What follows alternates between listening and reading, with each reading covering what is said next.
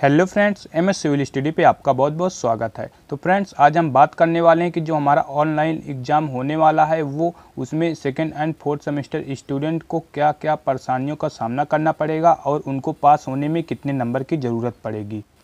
अगर आप हमारे चैनल पर नए हैं और अभी तक हमारे चैनल को सब्सक्राइब नहीं किए हैं तो प्लीज़ हमारे चैनल को सब्सक्राइब करिए और घंटी को बजा दीजिए ताकि हमारी ऐसी ही वीडियो की नोटिफिकेशन सबसे पहले आप तक पहुँच सके। तो फ्रेंड्स जैसे कि आप सभी जानते हैं कि जो हमारा एग्ज़ाम है वो ऑनलाइन मोड पर होगा और इसके साथ साथ आप यह भी जानते हैं कि वो ऑब्जेक्टिव होगा और उसमें 50 क्वेश्चन पूछे जाएँगे और जिसका टाइमिंग डेढ़ घंटे का होगा। तो यहाँ पर सेकेंड एंड फोर्थ सेमेस्टर वाले स्टूडेंट को परेशानी की बात यह है कि जो हमारे सिक्स सेमेस्टर स्टूडेंट हैं, उनका पेपर एक दिन में एक ही सब्जेक्ट का एग्ज़ाम होगा। यानी कि उनका एग्ज़ाम 22 से लेकर 26 के बीच में होगा और एक सब्जेक्ट का पेपर एक ही दिन में होगा। और वे लोग कहीं पर से भी अपना एग्ज़ाम ऑनलाइन मोड पर दे सकते हैं या फिर अपने कॉलेज से या फिर अपने पर्सनल लैपटॉप से या फिर कहीं पे साइबर कैफ़े से अपना एग्ज़ाम ऑनलाइन मोड पे दे पाएँगे।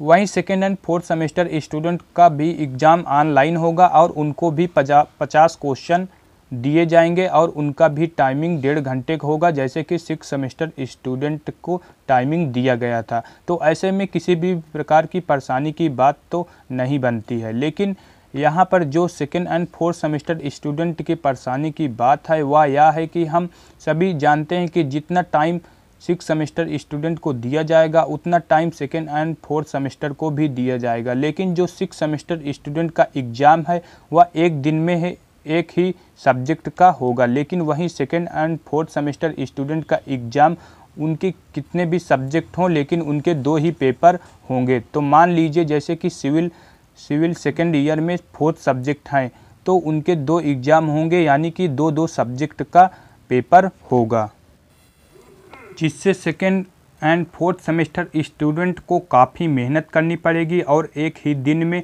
दोनों सब्जेक्ट को पढ़कर जाना पड़ेगा। अब बात करते हैं कि एग्ज़ाम में कितने नंबर लाना अनिवार्य है। तो फ्रेंड, जैसे कि आप सभी जानते हैं कि सेमेस्टर एग्ज़ाम में पास होने के लिए सत्रह नंबर लाना ज़रूरी है। यानी कि हर सब्जेक्ट में कम से कम सत्रह नंबर आना ज़रूरी है। तो यहाँ पर परेशानी की बात यह है कि सिक्स सेमेस्टर वाले स्टूडेंट का एक सब्जेक्ट का पेपर एक ही दिन में होगा और वह पचास नंबर का होगा, जिसका टाइम डेढ़ घंटे का होगा।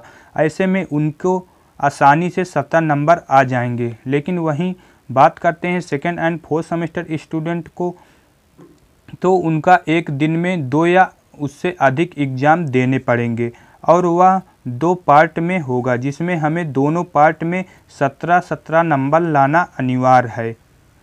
अगर हम एग्ज़ाम्पल के माध्यम से समझें तो मान लीजिए सिविल के दो subject highway engineering and irrigation engineering हैं।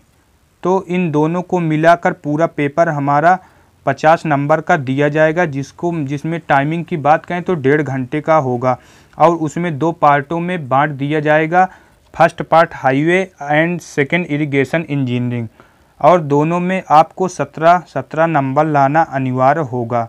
तो अब आप समझ ही गए होंगे कि यहाँ पे second and fourth semester student को परेशानी की बात क्या है। यानी कि अगर हम सिंपल शब्दों में कहें कि जो हमारे सेकेंड सेमेस्टर के स्टूडेंट हैं, उनका एक दिन में एक ही एग्ज़ाम होगा, जिसके कारण उनका पचास में सत्रह नंबर आसानी से प्राप्त कर लेंगे। लेकिन वहीं पे सेकेंड एंड फोर्थ सेमेस्टर के जो स्टूडेंट हैं, उनका एक दिन में दो से तीन एग्ज़ाम हो सकते हैं, जिसमें उनको एक या दो पार्ट में पेपर दिया जाएगा और जितने भी सब्जेक्ट का पेपर होगा, जैसे कि हमारे यहाँ पे दो सब्जेक्ट के पेपर हैं तो फिर वहाँ पे हमें फ़र्स्ट एक पार्ट एक सब्जेक्ट रहेगा एंड सेकंड एक पार्ट एक सब्जेक्ट रहेगा। तो एक, दोनों पार्टों में हमें सत्रह सत्रह नंबर यानी कि हमारा पूरा पेपर पचास नंबर में चौंतीस नंबर लाना अनिवार्य है। तो फ्रेंड्स अब आपको कम टाइम पे ज़्यादा मेहनत करनी है।